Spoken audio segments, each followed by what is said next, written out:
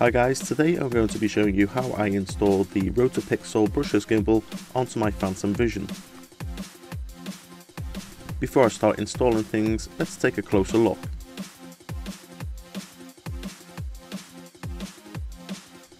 I like the way they've branded the motors with the RotorPixel design. Also very nice is this machined aluminium All of the white plastic components that you see here are 3D printed to a very good quality. RotorPixel have gone with a modular design, so in future you will be able to replace the camera holder for one for example a GoPro Hero 3. This is going to be handy if this is your first gimbal, as you'll be able to carry it on to the next quadcopter. First of all, run the Phantom 2 Vision Assistant, and we're going to change these gain settings here. Change the pitch to 0 and then press enter. Then on the servo travel limit, click on the center box of the pitch, then change it to minus 450, again pressing enter. Now that's done, let's start making some physical changes. Disconnect the camera from the rubber mounts. Then unplug the servo cable and the FC200 cable that is in the back.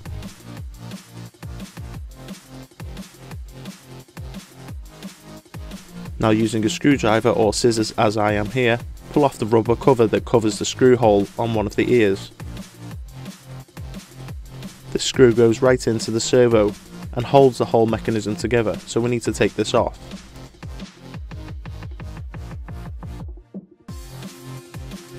Then undo these silver screws that you see on top.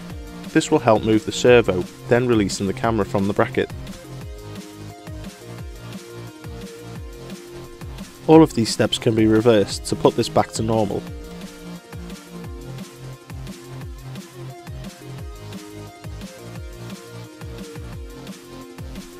Now let's mount the Vision camera into the gimbal.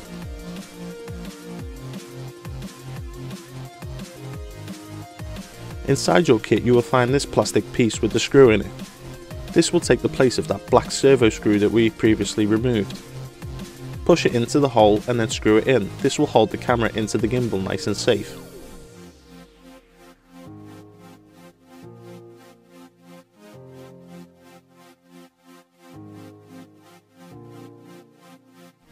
Now let's attach the servo cable to the one on the gimbal. Always have the phantom powered off when connecting or disconnecting cables. Now let's mount the gimbal onto the isolation mounts. Here I'm using a piece of wire. I lasso it around the isolation mount and pull it through. I find this to be the easiest way. Repeat the process until all four are connected. In the kit you will find these two pieces. Push the black piece down through the isolation mount and then screw the other piece up inside it.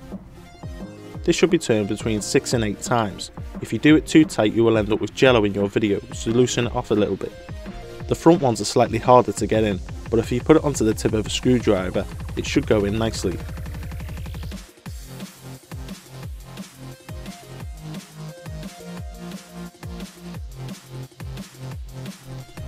Now take the original Phantom Vision cable and plug this into the main board. The existing cable is too thick and stiff, so the RotorPixel gimbal has its own thinner and more flexible cable. Plug this into the FC200 camera. For optimal operation, have the cable pointing upwards.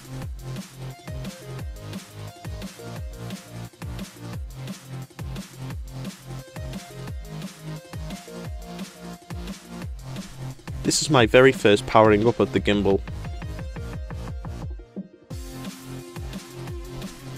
As you will see, if you have the camera pointing down slightly, it can make contact with the ground, and this will cause it to shake.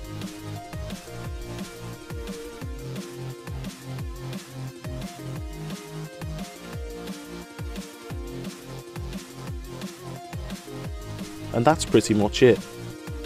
As you can see, I still have all my usual features. But also, I can now point the camera all the way down towards the ground,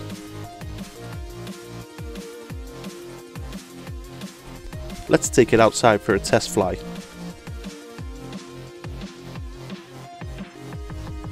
Here we have a member of my family about to leave the house, so this should make a good subject to follow.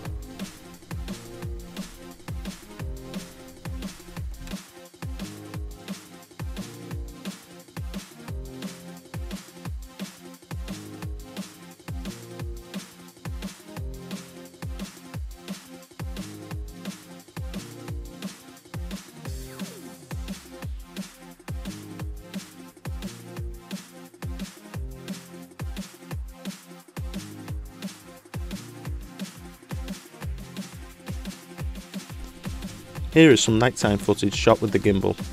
This is real-time video with no slowing down.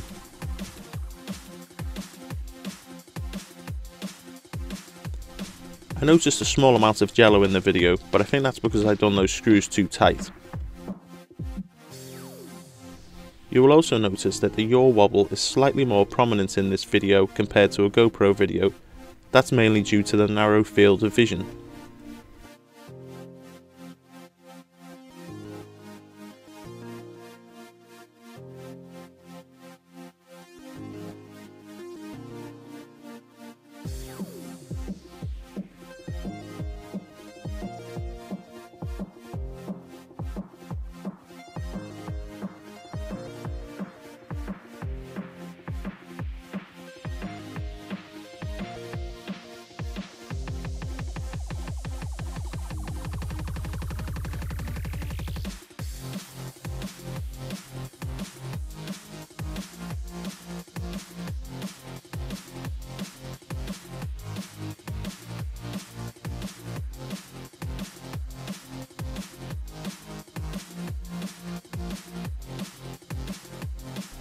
So that's all for now guys.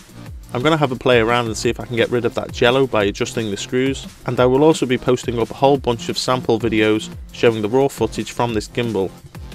So stick around guys and subscribe. I'm going to leave you now with a future video. All of these shots you're going to see were shot with my TBS Pro and will be featured in a future video.